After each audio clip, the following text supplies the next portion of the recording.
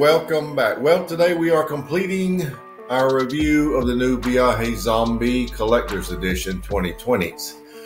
Today we're looking at the green. Same size, five and a half by 54. Dark natural, and I think you'll agree that's a dark natural.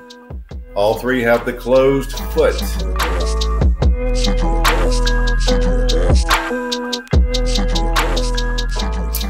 Now, real quickly to remind you, here is a picture of all three side by side. All the same size, different color bands, different color wrappers. The binder and filler is completely unknown. is very secretive. Now, these have been a, uh, the red and the green have been around since 2014. The black is completely new and was previously sold and available for, uh, believe it or not, in China.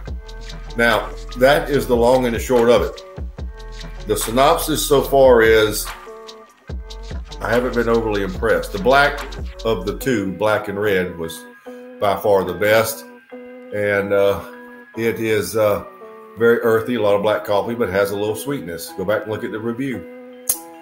But for now, let's look at the green. So let's get right to it. The new Viaje Zombie Collector's Edition 2020. This is a very dark, natural, very dark. I wish I knew more to tell you about it. I don't. Okay, I've got a little bit of a draw, enough to tell me that it will draw once it's uh, opened up.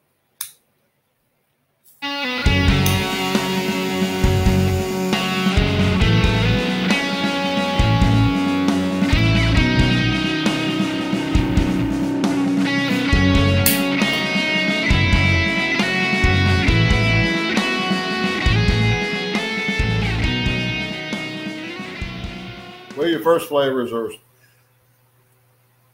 somewhat tangy with sweet citrus and brown sugar, a little cinnamon, but those flavors are quickly followed and almost engulfed or encapsulated in a slightly leathery nutmeg. It's a creamy nutmeg, smooth nutmeg, has a little leather characteristics, and you get it just microseconds after you taste the uh, citrus, brown sugar, and light cinnamon. It's almost like they're almost all one thing, but you get one and then real quick get the other. There is a black coffee base that's not very intrusive at this point. There's black pepper, about seven. It's actually not that much right now. I might even say six and a half. So um, at this point. So that's how you start. It's a little sweeter than the other two at this point. So uh, things happen, things change. So let's see what we have at the first third.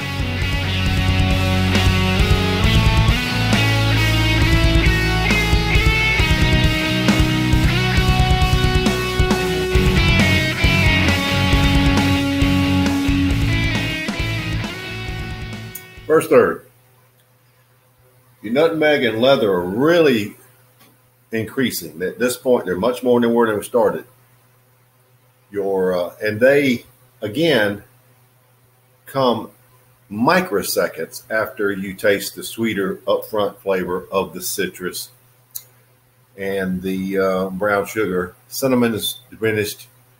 There's orange peel now in the mix to go to go along with that uh, leather and nutmeg the black coffee, you know, I haven't really noticed it much. It's much less black coffee in this cigar than there is the other two. It's there. Okay. The pepper may be up to seven right now. The finish is a leathery nutmeg. The finishes on all three of these cigars have no have had no sweetness to speak of. Modest amount of lingering black pepper, but it's it's a, it's okay. It's it's not great. And the uptick, heavy uptick of leathery nutmeg, and now the orange peel is in there. All those just strip away. Wait, they pull away the sweeter notes. First third's 91.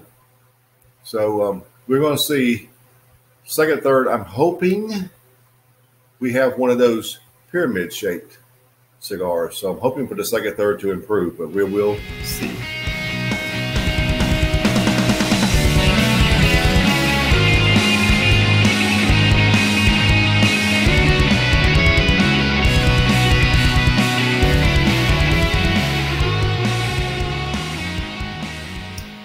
Second third.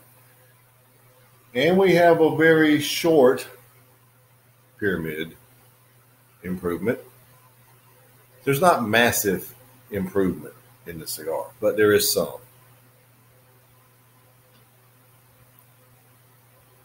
The citrus and brown sugar are a little bit improved. The nutmeg and the leather is still very much elevated, but you're getting a little more of the sweeter notes. So that's the improvement. Going back to the first third, it was pretty much medium bodied. This one is medium to full. The finish has a lot of leather and nutmeg. No sweetness. Improved lingering black pepper. So that's another improvement but it's not massively better. It is somewhat better. So I'm raising the score to 92 because it is a 92. It's in again, when I pick up a cigar, what do I think about it if, if I just picked it up and this is what I get? It'd be a 92. It's right there with something I could have again. Black coffee's ticking up. I don't know if it's going to get crazy, but it's ticking up. But that is your second third modestly better. Modestly better. So, what do we have at the end in the final third?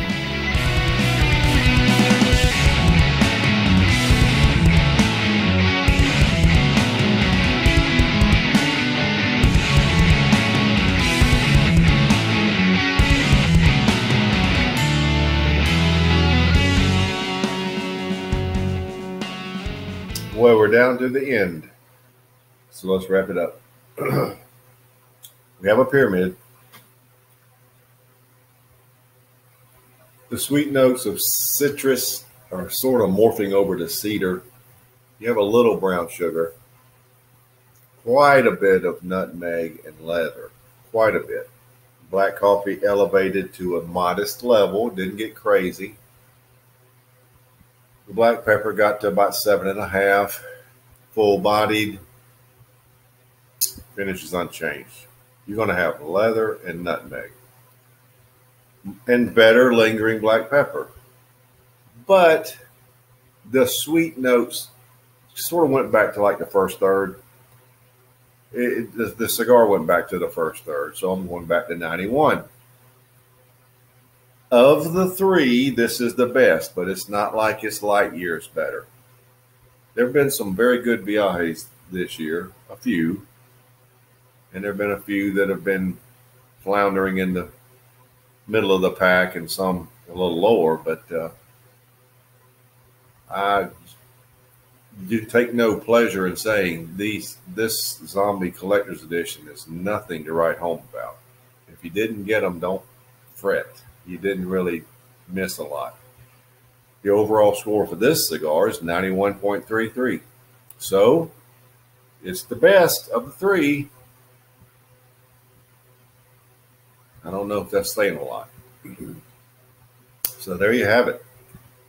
The new Viaje Zombie Collector's Edition 2020 Green 91.33.